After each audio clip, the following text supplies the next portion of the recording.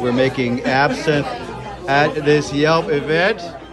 I'm not sure what the procedure is. It involves a sugar cube. So what you want to do is once it gets to about one to one, you're going to want to turn your spigot off, give it a stir, see if you like it.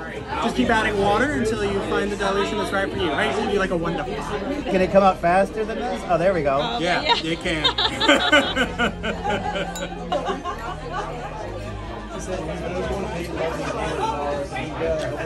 Ooh, it tastes like licorice. Absolutely not traditionally a licorice person, but I kind of, I don't know, I kind of appreciate it. Maybe it's the whole presentation of it. Sure.